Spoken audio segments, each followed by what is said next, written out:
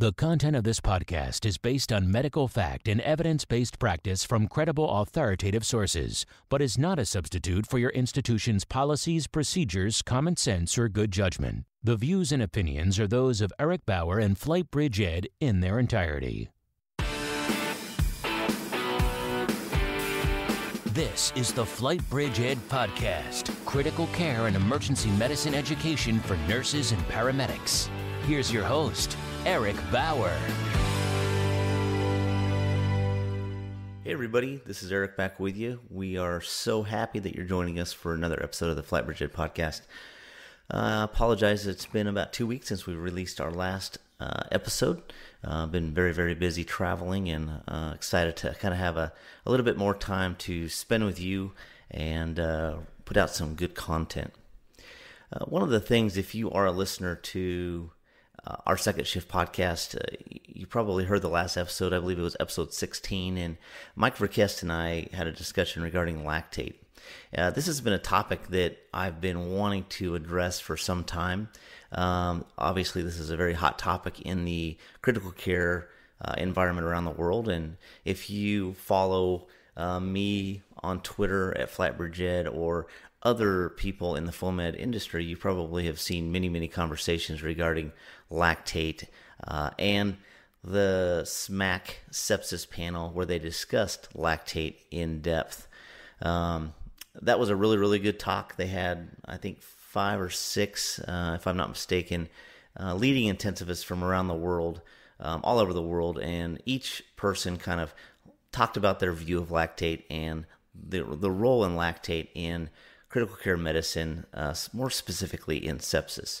And so, based on that, um, I believe EMCrit put out a, a podcast that basically um, highlighted that talk and and put out a video of that talk. So I, I, encourage you to go check that out.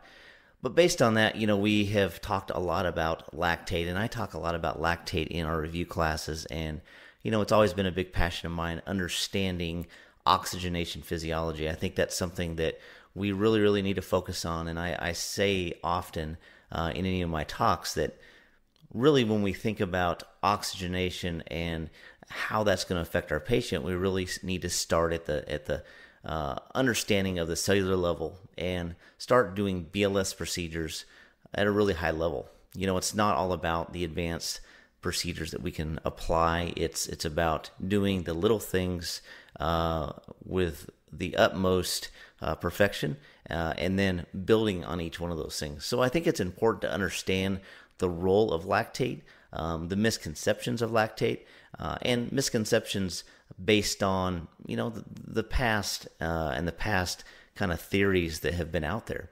Um, I myself have often, uh, I shouldn't say often, but I, I find myself always referring back to those initial uh, educational topics um, or or um, lectures that I heard regarding lactate and and that lactate was a big indicator of tissue hypoxia.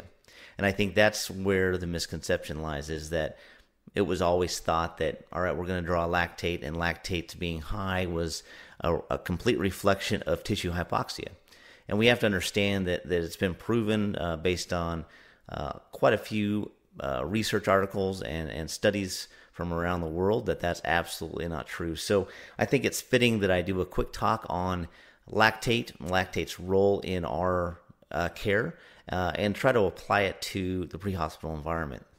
As I said, we did a, a, a uh, second shift podcast, Mike Verkest and I, and we, we you know, briefly talked about lactate. And, you know, he brought up uh, that his agency, you know, he uh, just took a new position with uh, a fire department as their training officer, and he was alluding to that they actually have lactate monitors, and those lactate monitors have been in place now a few weeks. And I applaud any agency that's trying to, um, you know, outfit their their paramedics and their uh, EMS providers with better equipment so they can make better decisions. But I also um, am a realist. I think the the longer I do this job and and involved in medicine, I realize that. Uh, you you still have to make good clinical decisions, and we can give our providers all the great equipment, all this new stuff. You know, is that going to really make a difference patient care wise? And as many of you know, Mike Verkest is is one of my closest friends. I love him dearly, and and you know, but sometimes I guess we have to agree to disagree. And I think for me, uh, based on the new science, the new literature, I don't know if there's a role for actual lactate monitoring in the field for EMS providers. And I'm going to try to lay out my argument based on this. Uh, I've taken quite a bit of time to research this so I can try to uh, speak at a level that, that obviously supports my, my thought process. And um, you leave it out for you guys. I'm going to cite a study. I'm going to put the study on the website um, so you guys can actually refer to it. And I encourage you to read it and kind of decide for yourself. So the study that we're going to kind of refer to is uh, from the Journal of Intensive Care. It's called A Lactate Kinetics in Sepsis and Septic Shock, a review of the literature and rationale for further research. So, based on that, I'm going to start off with, you know, kind of a, a, a look at a part of that uh, lecture. This um, this review um, starts off with a really profound statement based on, you know, just kind of my opinion. It says traditionally lactic acidosis and sepsis is attributed to anaerobic glycolysis due to inadequate oxygen delivery. However, it's been clear that mechanisms of hyperlactemia and sepsis is multifactorial and due to the factors beyond hypoxic tissue injury alone. For example, James et al proposed that lactic acidosis refractory to standard resuscitation is frequently due to increased aerobic glycolysis in skeletal muscle secondary to epinephrine stimulated sodium and potassium pumps. And it is not a result of anaerobic glycolysis from hypoperfusion. Furthermore, Gutierrez et al. emphasized that the etiology of prolonged lactic acidosis and sepsis is often multifactorial, making it unreliable as a marker of oxygen debt and inadequate resuscitation. So when I read that, you know, that was kind of a big slap in the face. It goes against every single thing that I initially was taught. Um, obviously, I was at SMACC. I, I heard the lecture, I heard the, the panel and what they had to say. And, you know, I had I had slowly already started changing my opinion.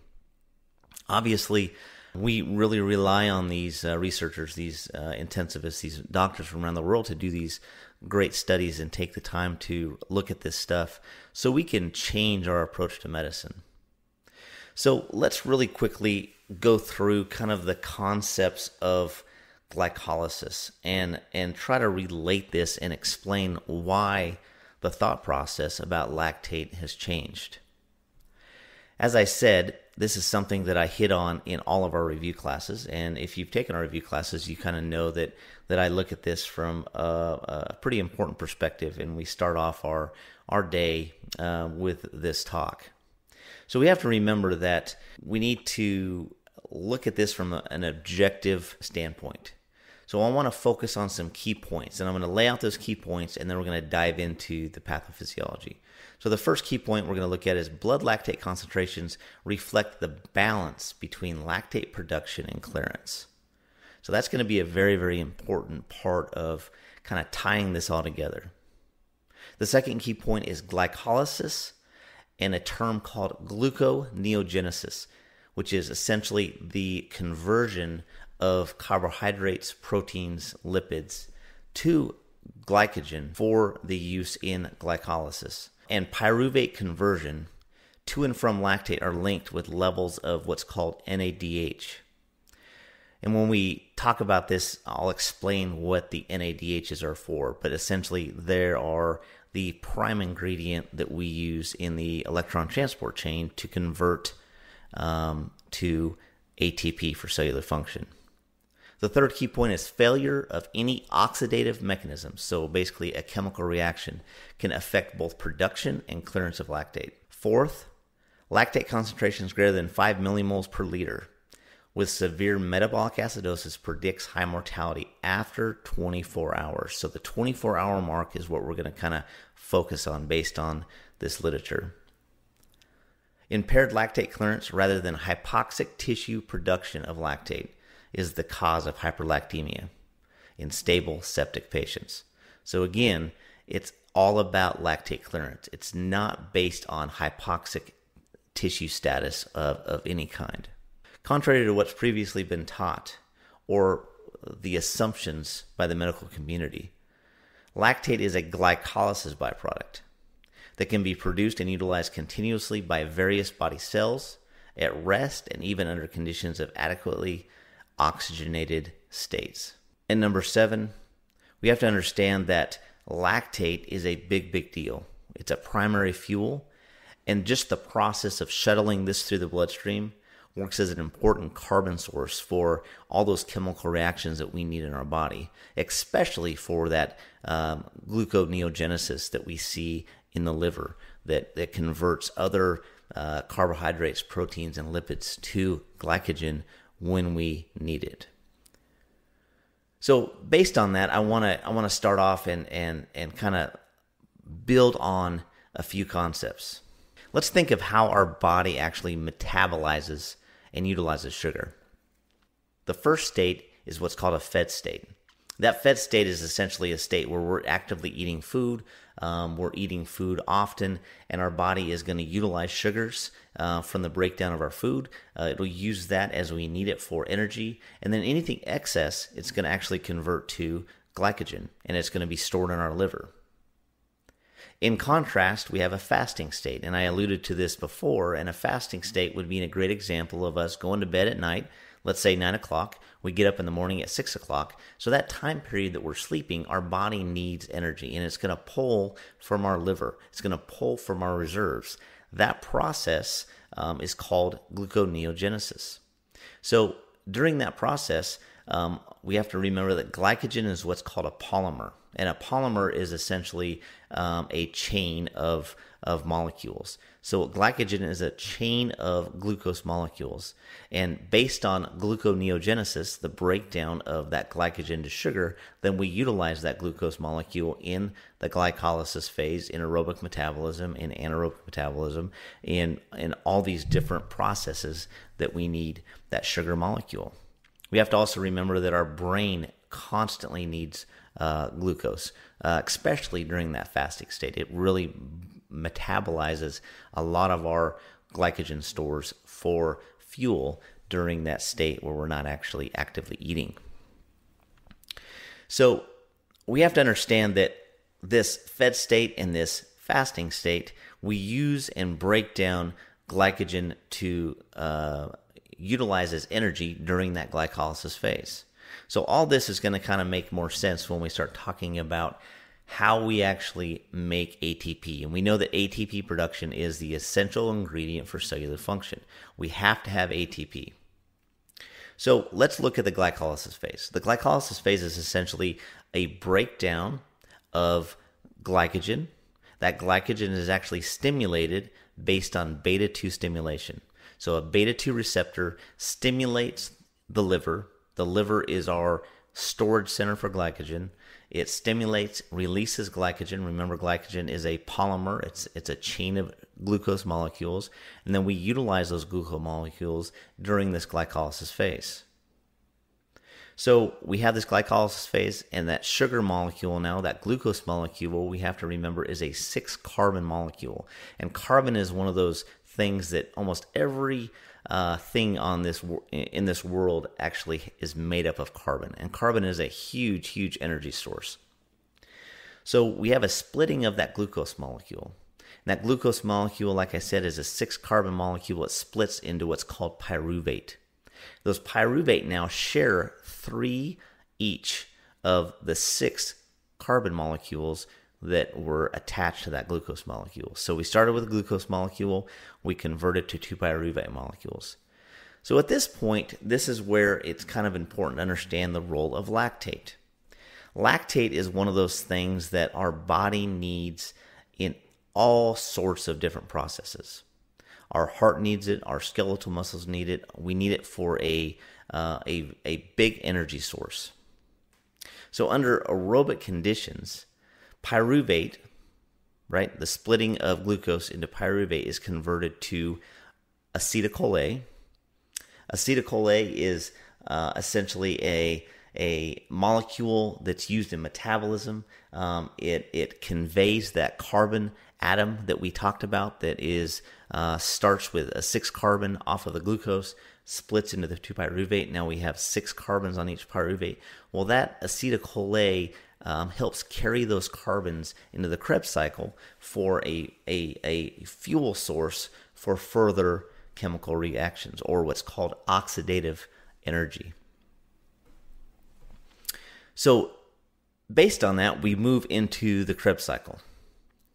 If we compare that to an anaerobic condition, pyruvate is actually converted to lactate, and lactate is then converted to lactic acid. But we also have to understand that lactate, as I said, is a, is a very, very important fuel source. So during glycolysis, because of the splitting of the glucose molecule to pyruvate, that pyruvate can actually convert to lactate in the glycolysis phase. So whether we're in an aerobic state or an anaerobic state, pyruvate is the prime source for producing lactate and our body is going to produce lactate when it needs to. In situations where our body's stressed and things like that, obviously we're going to have a hyper stimulation of glycolysis. And that's what we kind of need to understand is that that hyperstimulation, that glycolysis that happens over and over and over because of a stress response, well, let's let's think about what happens with a stress response. Any of us that has a stress response has a sympathetic response, and we have a surge in beta one and beta two stimulation. Our respiratory rate increases, our heart rate increases, our um, our lungs kind of dilate out so we can take in more air. Our pupils dilate. Well, that process um, releases, like I said, more beta 1, beta 2 stimulation. Well, that process is going to secrete and stimulate glycogen release from the liver. And that glycolysis is going to happen much, much more rapidly. So it's really, really important to understand that lactate is produced in both processes, aerobic and anaerobic processes. And that we have to look at lactate from the perspective of is this lactate produced because of a stress response? And if that is the cause based on the research, how can we utilize lactate now uh, and look at lactate in a different way and understand that it's not because of hypoperfusion. Obviously, when we look at sepsis, we're always trying to fix the, the, the what's called microcirculation or um, you know a reduction in microcirculation, which is essentially your cardiac output, your MAP blood pressure, um, you know oxygenation status. And a lot of times, you know, that is corrected based on either augmenting that with medications, intubating the patient and putting them on the ventilator, um, starting Levophed, starting secondary pressors like vasopressin, uh, and perfusing uh, based on improvement in cardiac output with help from those uh, additional medications. The whole goal of looking at lactate, though, is is is really really important when you look at it from the perspective of trending. And so this is kind of where I have an issue with utilizing this in the pre-hospital environment on an initial call. We have to remember that the basis of our treatment is always first to identify a SIRS response. I mean, let's be honest, we're, we're mainly talking about sepsis and uh, septic shock. Obviously, you can have increased lactate levels uh, for other reasons and other disease processes, other illnesses. But really, the focus is on sepsis and limiting the amount of patients that move from that SIRS response to that sepsis to that septic shock. So, really quickly, a systemic response or a SIRS response, you have to have two or more of the following. You have to have either a temperature that's that's greater than 38 degrees Celsius. You have to have a heart rate greater than 90 um, you have to have a respiratory rate greater than 20 or a CO2 less than 32, or you have to have, have a white blood cell count greater than 12,000 um, or 10% band. So you have to have two of those things before it's classified as a SIRS response. So if I kind of look at this from the perspective of how does this apply to the pre-hospital environment and early lactate monitoring, lactate uh, can be elevated for many, many reasons. You could have a patient that maybe ran a marathon the day before. Maybe they went and worked out. Maybe they're dehydrated. Uh, maybe they, um, um, have been uh, laying around. Um, you know, there's a lot of different things that will cause a surge in lactate. So, based on that, I really, really feel like utilizing a lactate monitor uh, for the purpose of identifying potential sepsis is kind of the wrong approach. When you look at this, you know, can we identify a temperature accurately? Well, yeah. Um, is that something that's probably done uh, as much or as often as possible on scene um, as an EMS provider? Probably not. Obviously, we can look at a heart rate, we can look at the respiratory rate. Um, we can't ever identify white blood cell count. So I look at this and I'm like, okay, well, how is this going to change the care? If the patient is decompensating enough to warrant um, a look, to warrant suspicion of a SIRS response, then they probably should be taking to uh, a hospital that is going to have the care and ICU uh, to handle that type of patient. So, is it going to change anything to check a lactate in the field? I would probably argue no. Does it give you maybe a added tool to um, evaluate is this patient having some type of a, a, a an issue? Well, yeah, possibly. But again, I kind of look at it like, is that going to change my care? I kind of relate this to how we evaluate posterior wall MIs in the field, and how cardiologists, and I've had many cardiologists tell me this and agree that a posterior MI is maybe uh, isolated 3% of the time. So 97% of the time, a, a posterior wall MI is always going to be associated with an inferior wall MI. So, do I need to be doing a posterior 12 lead? And the answer is no. It doesn't give me any added information. And the, the, the, the percentage of finding an isolated posterior 12 lead is so minute that I don't think it warrants doing them in the field. Now, can I can I see them doing it in a hospital setting? Yeah, possibly, but talking to cardiologists, they they tend to not do that. So I kind of look at this lactate monitor kind of similar. Um, and again, I'm not going against um, kind of the mainstream, and, and I know that you know we want new cool tools out there, and I think lactate monitoring is going to be a useful tool, but I think it needs to be uh, utilized in the right way. So I'm going to read another section of this study and then I'll expand on that based on kind of my thoughts. So this section is lactate as a late prognosticator in sepsis management. Literature evaluating the clinical and predictive value of lactate measurements beyond the initial six hour resuscitation period in the medical management of sepsis is significantly less robust. In study of 137 surgical intensive care unit patients, Husain ETL showed elevated initial and 24 hour lactate levels to be significant predictors of mortality and mortality ranging from 10 to 67%, depending on whether lactate levels normalized or failed to normalize at the 24 hour mark. In other studies investigating ICU patients, Bakker et al. showed that lactate clearance measured 24 hours after admission was significant predictors of in hospital mortality and that the duration of persistent lactic acidosis was more predictive of mortality than the initial lactate value. Similarly, Friedman showed in a 35 patient study that survivors of sepsis and severe sepsis admitted to the medical intensive care unit had significantly lower lactate values at 24 hours of resuscitation than non survivors. Finally, Manikis al. followed lactate measurements every 8 hours for 72 hours in 125 uh, correction 129 trauma patients and demonstrated serial lactate measurements and the duration of hyperlactemia to be reliable indicators of morbidity and mortality. Marty ETL measured lactates at 0, 6 hours, 12 hours, and 24 hours and showed the best predictor of death was at the 24 hour clearance mark. These authors concluded that during the first 24 hours in the ICU, hyperlactemia, even after the golden hours, is associated with increased mortality, and lactate clearance directed therapy should be considered for the first 24 hours of treatment. Similarly, in an 81 patient study, they investigated 6 hour, 12 hour, and 24 hour lactate clearance in patients with sepsis and septic shock and found only the 24 hour lactate clearance measurements to be associated with mortality.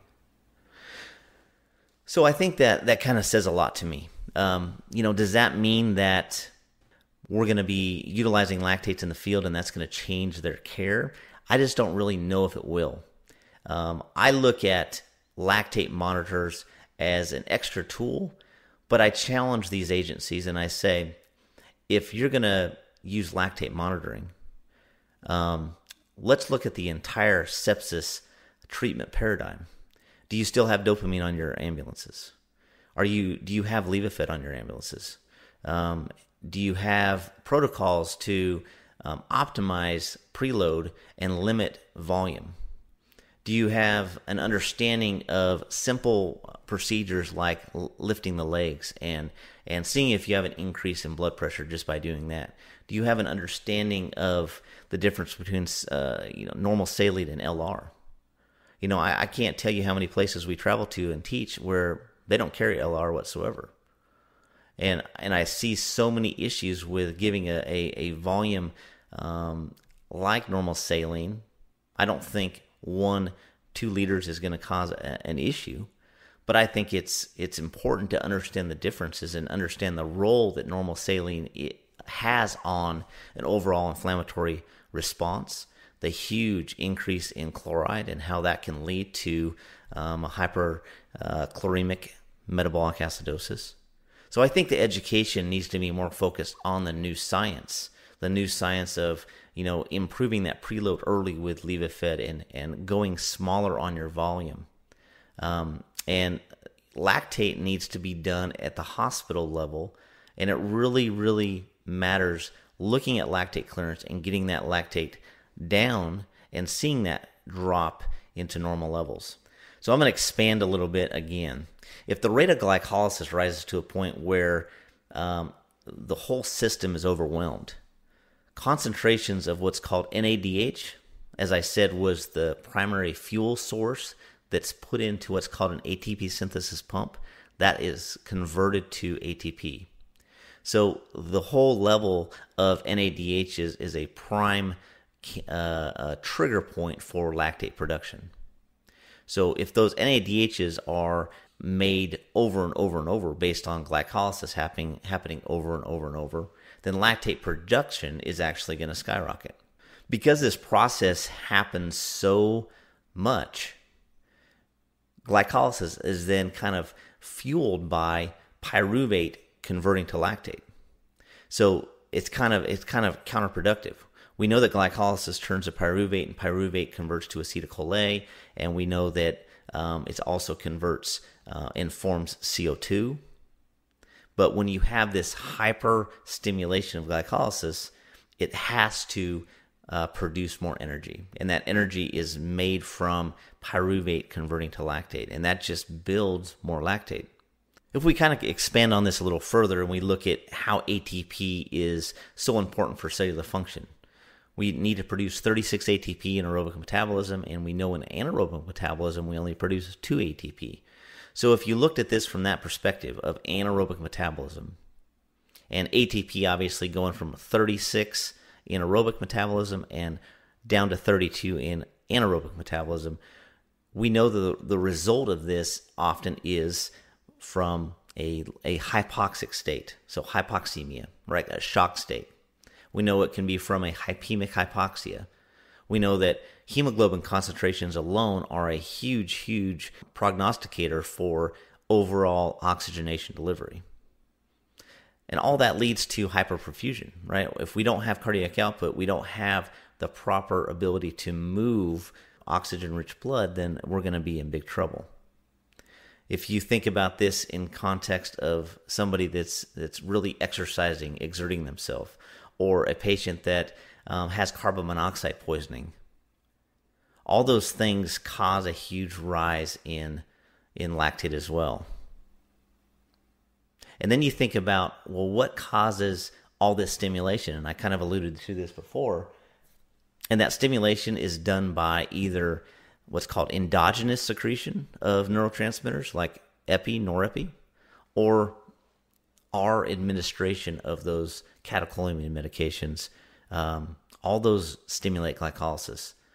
If that stimulation is high enough, we're going to have a, a, a huge increase in lactate production.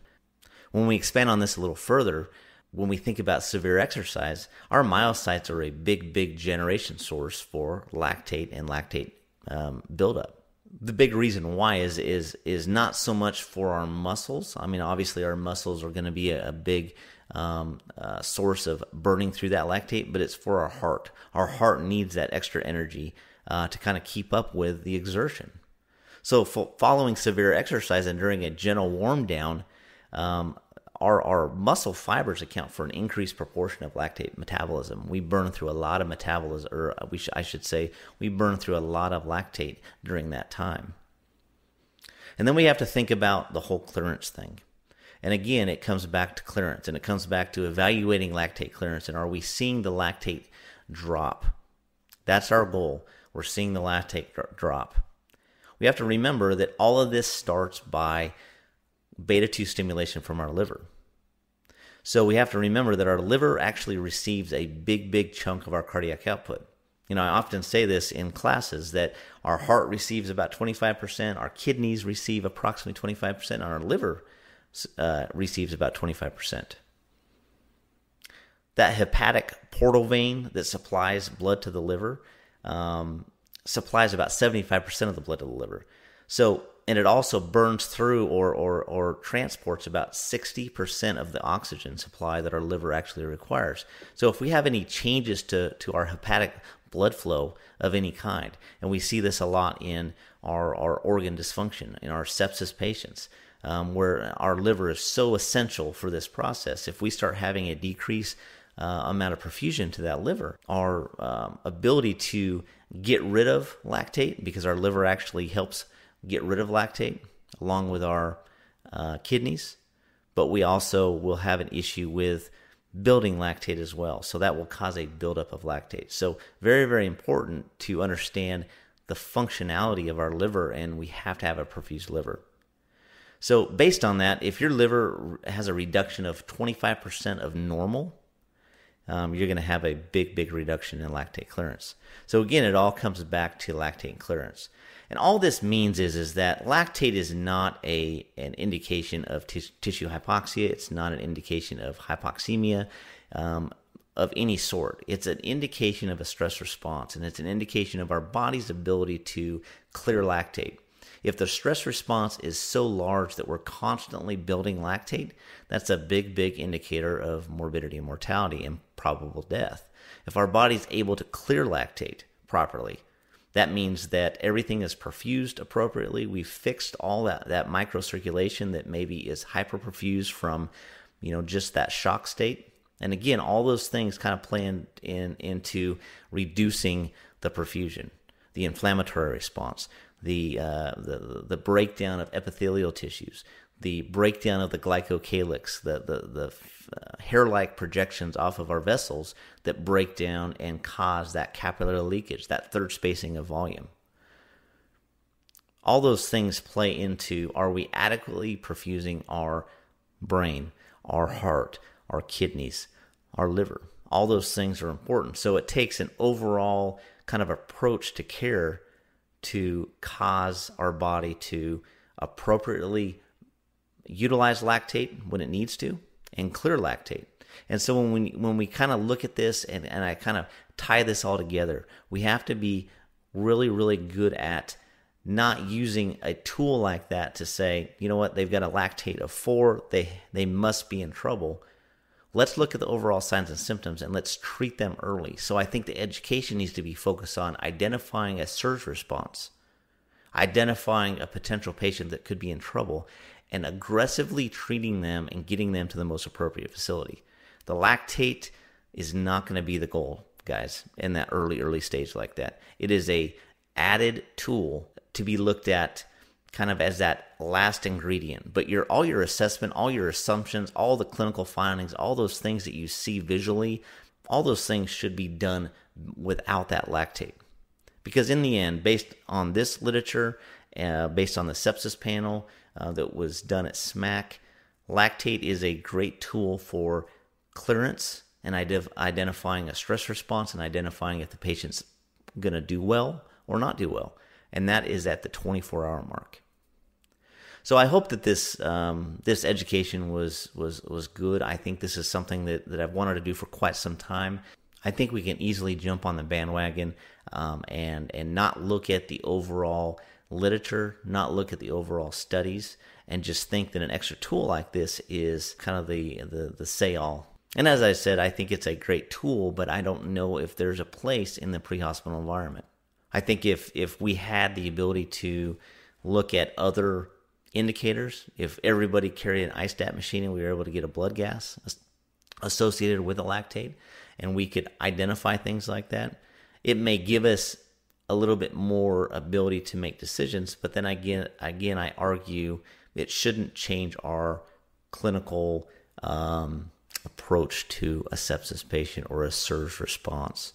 All those things are based on ABCs and whether you have a lactate or you don't have a lactate um, shouldn't change that mindset. So that's all I have for this lecture. I will post this study um, in a link on the show notes. For those of you, I have had quite a few emails. When I say a link on the show notes, you actually have to go to the website. So go to flightbridgeed.com, go up to the banner, uh, click on podcasts. You'll see two podcasts pop down. You'll see the Flightbridge Ed podcast, the Second Shift podcast you'll actually click on the Flightbridge Ed podcast, and the newest podcast that's published is going to be at the top. And then you should see that link, and I'll, I'll actually uh, post it uh, as a PDF. And uh, you can check it out and read it. And, uh, you know, I hope that everybody kind of sees this as, you know, a, a an objective overview of lactate and its its use in our industry as I've said many, many times, thank you so much for all the, the following, the nice emails, um, all of the class requests that we're getting. Um, very, very overwhelming, and, and I'm very thankful as well as my wife. We want to thank um, everybody that, that is part of the Flightbridge Ed team.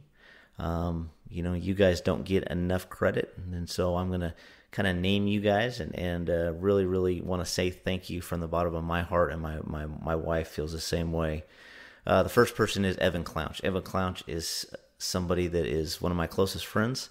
Um, he is an asset to Flightbridge Ed that that I can't uh, put into words. He's been with me since day one, and uh, he is he does so much behind the scenes. He does all of our artwork. He does all of our publishing of, of the podcasts, all the website building, all the IT stuff, systems administrator stuff.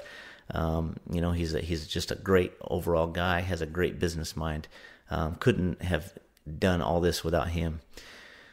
Obviously, I want to thank my wife. My wife is. Um, I say all the time in these review classes is somebody that is behind the scenes that makes me look really good and and you know she doesn't get the credit she deserves. And so i want to thank her and uh, all that she does. She puts up with me and my honoriness and and uh, really does put in a lot of time to uh, building flightbridge ed and, and building this brand. Um, next i want to thank bruce hoffman. Bruce hoffman is um, a guy that i've come to know based on um, you know the, the blogs twitter things like that. He started writing for Flightbridge Ed and the Flightbridge Ed blog about four months ago. Um, he's a, an amazing guy, an amazing clinician, and um, I'm really, really proud to have him as part of the team. Um, uh, really, really excited about the future. And then lastly, Clint Klepping, uh, another great, talented guy that has been writing for us for the last three or four months. Again, very, very energetic, very much about foam ed and and our our kind of industry and um, you know pushing our, our our brand to people around the world. So again, very talented, very excited, very energetic, and and very very thankful that he's willing to give up his time to write for us and put out great content. So you know, for all of us from the Flightbridge Ed team, I just want to say thank you and and just keep the emails coming and, and we really really appreciate all that you do all the kind words and for spreading the word around the world um, we know that we're nothing without you and, and for that i'm very very thankful. So until next time i'll talk to you soon. This has been a production of the flight bridge ed podcast leading the way in pre-hospital critical care and emergency medicine education